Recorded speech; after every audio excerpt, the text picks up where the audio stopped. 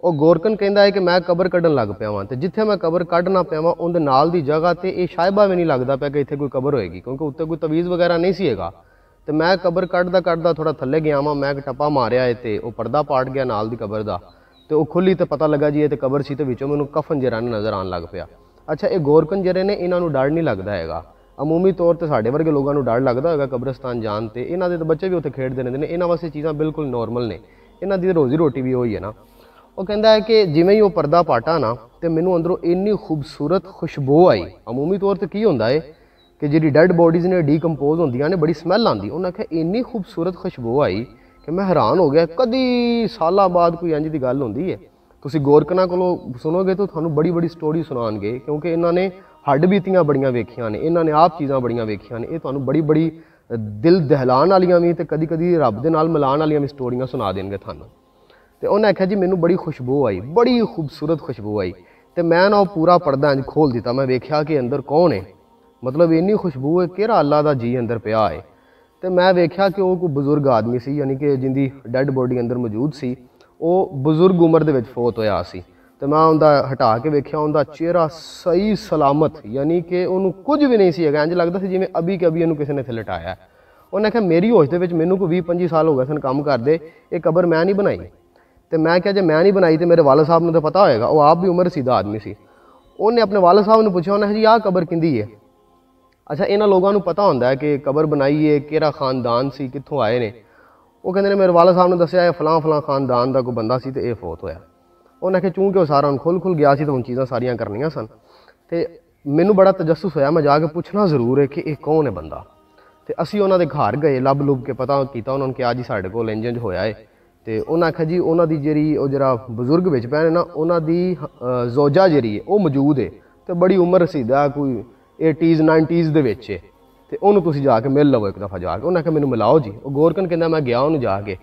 ਮੈਂ ਪੁੱਛਿਆ ਬੇਬੇ ਨੂੰ ਮੈਂ ਕਿਹਾ ਬੇਬੇ ਇਹ ਤੇਰੇ ਸ਼ੋਰ ਦੀ ਕਬਰ ਹੈ? ਉਹਨੇ ਆਖਿਆ ਆਹੋ ਮੇਰੇ ਸ਼ੋਰ ਦੀ ਕਬਰ ਹੈ। ਇਹ ਮੈਂ ਉਹਨੂੰ ਪੁੱਛਿਆ ਕਿ ਇਹਨੂੰ ਫੌਤ ਹੋਏ ਕਿੰਨੀ ਦੇਰ ਹੋ ਗਈ? ਉਹਨੇ ਆਖਿਆ ਜੀ ਇਹਨੂੰ ਫੌਤ ਹੋਏ ਤਕਰੀਬਨ ਕੋਈ 35 ਕੁ ਸਾਲ ਹੋ ਗਏ ਨੇ। 35 ਸਾਲ ਪੁਰਾਣੀ ਕਬਰ ਸੀ। ਉਹ ਕਹਿੰਦੇ ਨੇ, ਮੈਂ ਪੁੱਛਿਆ ਕਿ, ਬੇਬੇ ਮੈਨੂੰ ਦੱਸ, ਬਾਬੇ ਨੇ ਜ਼ਿੰਦਗੀ 'ਚ ਕਿਹੜਾ ਐਸਾ ਨੇਕ ਕੰਮ ਕੀਤਾ ਏ? ਮੈਂ ਤੇ ਹੈਰਾਨ ਹੋ ਗਿਆ ਵਾਂ।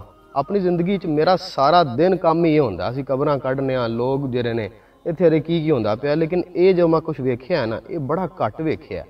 ਇਹ ਮੇਰੇ ਵਾਲਿਦ ਮੈਨੂੰ ਕਦੀ ਗੱਲ ਸੁਣਾਉਂਦੇ ਸਨ ਜਾਂ ਮੇਰਾ ਦਾਦਾ ਕਦੀ ਗੱਲ ਸੁਣਾਉਂਦਾ ਸੀ ਕਿ ਯਾਰ, ਅਸੀਂ ਇੱਕ ਦਫਾ ਇੰਜ ਹੋਇਆ ਤੇ ਅਸੀਂ ਵੇਖਿਆ ਏ। ਇਹ ਅਮੂਮੀ ਤੌਰ ਤੇ ਵਾਕਿਆ ਹੁੰਦੇ ਨਹੀਂ ਹੈਗੇ।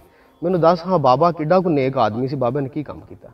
ਉਹਨੇ ਹੈ ਬੇਬੇ ਨੇ ਕਿਹਾ ਕਿ ਬਾਬਾ ਕੋਈ ਨੇਕ ਨੂੰ ਆਦਮੀ ਨਹੀਂ ਸੀ ਹੈਗਾ ਲੇਕਿਨ ਪਿਛਲੀ ਉਮਰੇ ਜਾ ਕੇ ਨਾ ਜਦੋਂ ਅੱਲਾ ਨੇ ਕਰਮ ਕਰ ਦਿੱਤਾ ਅੱਲਾ ਨੇ عطا ਕਰ ਦਿੱਤੀ ਤੇ ਅੱਲਾ ਨੇ ਨਾ ਮੁਹੱਬਤ ਰਸੂਲ عطا ਕਰ ਦਿੱਤੀ ਬਾਬੇ ਨੂੰ ਤੇ ਫਿਰ ਕਲਾਮ ਇਲਾਹੀ ਦੀ ਮੁਹੱਬਤ ਅੱਲਾ ਨੇ عطا ਕਰ ਦਿੱਤੀ ਬਾਬੇ ਨੂੰ ਕੁਰਾਨ ਪੜ੍ਹਨਾ ਨਹੀਂ ਸੀ ਆਂਦਾ ਹੈਗਾ ਤੇ ਪਿਛਲੀ ਉਮਰੇ ਬਾਬੇ ਕੋਲੋਂ ਸਿੱਖਿਆ ਵੀ ਨਾ ਗਿਆ ਉਹਨੇ ਕੋਸ਼ਿਸ਼ ਕੀਤੀ ਤੇ ਮਤਲਬ ਜਦੋਂ ਬੰਦਾ ਆਗੂ 60 70 ਨੂੰ ਉੱਪਰ ਜਾਵੇ ਫਿਰ ਕਿਤੇ ਸਿੱਖਿਆ ਜਾਂਦਾ ਹੈ ਚੀਜ਼ਾਂ ਬੜਾ ਘੱਟ ਉਹਨੇ ਹੈ ਬਾਬੇ ਕੋਲ ਸਿੱਖਿਆ ਵੀ ਨਾ ਗਿਆ ਪੜਿਆ ਲਿਖਿਆ ਵੀ ਨਹੀਂ ਸੀ ਹੈਗਾ ਬਾਬੇ ਨੇ ਕੋਈ 2-4 ਮਹੀਨੇ ਕੋਸ਼ਿਸ਼ ਕੀਤੀ ਸਿੱਖਣ ਦੀ, ਪਰ ਨਾ ਸਿੱਖਿਆ ਗਿਆ। ਅੱਲਾ ਨੇ ਮੁਹੱਬਤ ਦੇ ਦਿੱਤੀ ਸੀ ਰਸੂਲullah ਸੱਲੱਲਾਹੁ ਅਲੈहि ਵਸੱਲਮ ਦੀ। ਅੱਲਾ ਨੇ ਮੁਹੱਬਤ عطا ਕਰ ਦਿੱਤੀ ਆਪਣੇ ਕਲਾਮ ਦੀ। ਉਹਨੇ ਕਿਹਾ, ਬਾਬਾ ਪਹਿਲੋਂ ਤੇ ਪਛਤਾਉਂਦਾ ਸੀ ਕਿ ਮੈਨੂੰ ਕਿਉਂ ਨਹੀਂ ਪੜਨਾ ਆਂਦਾ ਫਿਰ ਬਾਅਦ ਵਿੱਚ ਪਤਾ ਨਹੀਂ ਕੀ ਅੱਲਾ ਨੇ ਖਿਆਲ ਦਿੱਤਾ ਤੇ ਉਹ ਨਾ ਠਹਿਰ ਗਿਆ। ਉਹ ਫਿਰ ਬਾਬਾ ਬੜੀ ਮੁਹੱਬਤ ਦੇ ਨਾਲ ਨਾ ਕੁਰਾਨ ਖੋਲਦਾ ਸੀ ਹਰ ਰੋਜ਼ ਤੇ ਉਹਨੂੰ ਵੇਖਦਾ ਸੀ। ਕੁਰਾਨ ਵੇਖਦਾ ਸੀ, ਉਹਦੇ ਉੱਤੇ ਹੱਥ ਲਾਉਂਦਾ ਸੀ ਤੇ ਉਹਨੂੰ ਚੁੰਮਦਾ ਸੀ। ਕਿ ਮੈਨੂੰ ਪੜ੍ਹਨਾ ਨਹੀਂ ਆਂਦਾ ਫਿਰ ਬਾਬਾ ਕਹਿੰਦਾ ਸੀ, ਯਾ ਅੱਲਾ ਤੇਰੀ ਇਹ ਗੱਲ ਵੀ ਠੀਕ ਹੈ ਤੇਰੀ ਇਹ ਗੱਲ ਵੀ ਠੀਕ ਹੈ ਤੂੰ ਜਿਹੜੀ ਆ ਗੱਲ ਲਿਖੀ ਹੈ ਮੇਰੇ ਮਾਲਕਾ ਆ ਵੀ ਠੀਕ ਹੈ ਬਾਬਾ ਇਹੀ ਕਰਦਾ ਹੁੰਦਾ ਸੀ, ਰੋਜ਼ਾਨਾ ਕੁਰਾਨ ਖੋਲਦਾ ਸੀ, ਉਹਨੂੰ ਚੁੰਮਦਾ ਸੀ, ਉਹਦੇ ਤੇ ਹੱਥ ਲਾਉਂਦਾ ਸੀ ਤੇ ਫਿਰ ਆਪਣੇ ਆਪ ਨੂੰ ਕਹਿੰਦਾ ਸੀ, ਮੈਨੂੰ ਪੜ੍ਹਨਾ ਨਹੀਂ ਆਂਦਾ ਪਰ ਮਾਲਕਾ ਮੈਨੂੰ ਤੇਰੇ ਤੇ ਯਕੀਨ ਹੈ ਤੂੰ ਜੋ ਕੁਝ ਵੀ ਆ ਲਿਖਿਆ ਆ ਵੀ ਠੀਕ ਹੈ ਆ ਵੀ ਠੀਕ ਹੈ ਆ ਵੀ ਠੀਕ ਹੈ ਉਹ ਕਹਿੰਦੇ ਨੇ, ਬੇਬੇ ਕਹਿੰਦੀ ਹੈ ਕਿ ਉਹਨੇ ਆਪਣੀ ਜ਼ਿੰਦਗੀ ਦੇ ਜਿਹੜੇ ਆਖਰੀ ਕੋ 5-7 ਸਾਲ ਸਨ ਨਾ, ਉਹਨੂੰ ਕੁਰਾਨ ਨਾਲ ਬੜੀ ਮੁਹੱਬਤ ਸੀ, ਉਹਨੂੰ ਪੜ੍ਹਨਾ ਨਹੀਂ ਸੀ ਆਂਦਾ ਪਰ ਉਹਨੂੰ ਮੁਹੱਬਤ ਬੜੀ ਸੀ। ਉਹ ਕਹਿੰਦਾ ਹੁੰਦਾ ਸੀ, ਯਾ ਅੱਲਾ, ਤੂੰ ਜੋ ਕੁਝ ਕਿਹਾ ਏ, ਇਹ ਠੀਕ ਏ, ਇਹ ਹੱਕ ਏ, ਇਹ ਸੱਚ ਏ। ਇਹ ਤੇਰੇ ਰਸੂਲ ਦੇ ਉੱਤੇ ਜੋ ਉਤਰਿਆ ਏ, ਇਹ ਹੱਕ ਏ, ਮੈਂ ਦੀ ਗਵਾਹੀ ਦੇਣਾ ਇਹ ਬੜਾ ਸੋਹਣਾ ਹੈ ਯਾਨੀ ਕਿ ਆਪਣਾ ਅੰਦਾਜ਼ ਹੁੰਦਾ ਮੁਹੱਬਤ ਜਤਾਉਣ ਦਾ ਪਰ ਉਹਨੇ ਕਿਹਾ, ਮਾਲਕਾ, ਮੈਨੂੰ ਮਾਫ ਕਰ ਦੇ, ਮੈਨੂੰ ਪੜ੍ਹਨਾ ਨਹੀਂ ਆਂਦਾ ਪਿਆ। ਔਰ ਅਕਸਰ ਬੱਚਿਆਂ ਨੂੰ ਕਹਿੰਦਾ ਸੀ, ਮੈਨੂੰ ਸੁਣਾਓ ਪੜ੍ਹ ਕੇ।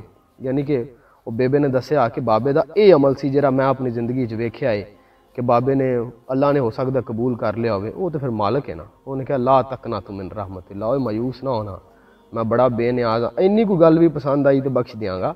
ਉਹਨਾਂ ਤਾਂ ਕਿਹਾ, ਮੇਰੀ ਮੁਹੱਬਤ ਵਿੱਚ ਇੱਕ ਆਂਸੂ ਨਿਕਲੇ, ਅੱਖ ਤੋਂ ਨਿਕਲੇ ਤੇ ਰੁਖਸਾਰ ਤੱਕ ਆ ਜਾਵੇ। ਉਹ ਕਮਲਿਓ, ਮੈਂ ਪੂਰੀ ਦੋਜ਼ਖ ਦੀ ਅੱਗ ਬੁਝਾ ਦਿਆਂ ਤੁਹਾਡੇ ਲਈ ਉਸ ਇੱਕ ਆਂਸੂ ਵਾਸਤੇ। ਬਾਬੇ ਤੇ ਫਿਰ ਬੜੇ ਆਂਸੂ ਆਏ ਸਨ ਨਾ। ਤੇ ਉਹ ਗੋਰਕਨ ਕਹਿੰਦਾ ਹੈ ਕਿ ਮੈਂ ਆਪਣੀਆਂ ਅੱਖਾਂ ਨਾਲ ਇਹ ਸਾਰਾ ਕੁਝ ਵੇਖਿਆ ਹੈ ਤੇ ਫਿਰ ਉਹ ਜਿਹੜੀ ਡੀਕੰਪੋਜੀਸ਼ਨ ਤੇ ਇਹ ਉਹ ਸਾਰੀਆਂ ਥਿਅਰੀਆਂ ਨੇ, ਇੱਥੇ ਆ ਕੇ ਬਿਲਕੁਲ ਖਤਮ ਹੋ ਜਾਂਦੀਆਂ ਨੇ।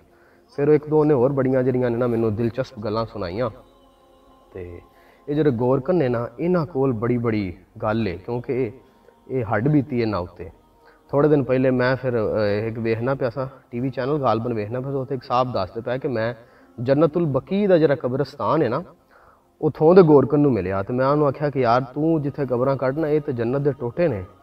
ਇਹ ਮੈਨੂੰ ਵਹਾ ਇਹਨਾਂ ਦੀ ਕੋਈ ਗੱਲ ਸੁਣਾ। ਤੇ ਉਹ ਗੋਰਕਨ ਕਹਿੰਦਾ ਏ ਕਿ ਮੈਂ ਇੱਥੇ ਜਦੋਂ ਕਬਰ ਕੱਢਣਾ ਕਿਉਂਕਿ ਗਰਮ ਇਲਾਕਾ ਹੈ ਉੱਥੇ ਬੜੀ ਗਰਮੀ ਹੁੰਦੀ ਹੈ ਤੇ ਮੈਂ ਮਾਮੂਮੀ ਤੌਰ ਤੇ ਕਬਰ ਕੱਢਣਾ ਵਾ ਤੇ ਵਿੱਚੋਂ ਇੰਜ ਲੱਗਦਾ ਜਿਵੇਂ ਠੰਡੇ ਹਵਾ ਦੇ ਬੁੱਲੇ ਹੁੰਦੇ ਨੇ।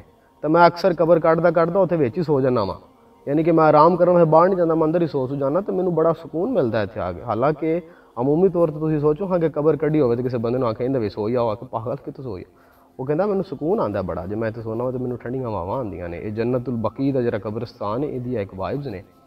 ਤੇ ਅੱਲਾ ਰੱਬੁਲ ਇੱਜ਼ਤ ਦੇ ਨਾਲ ਮੁਹੱਬਤ ਹੈ ਰਸੂਲullah ਸੱਲੱਲਾਹੁ ਅਲੈਹਿ ਵਸੱਲਮ ਨਾਲ ਮੁਹੱਬਤ ਹੈ। ਯਕੀਨ ਕਰੋ ਕਿ ਜਿਹੜਾ ਦੀਨ ਹੈ ਨਾ, ਇਹ ਬਹਿਸੋ ਮੁਬਾਸੇ ਦਾ ਨਾਂ ਨਹੀਂ ਜੇਗਾ।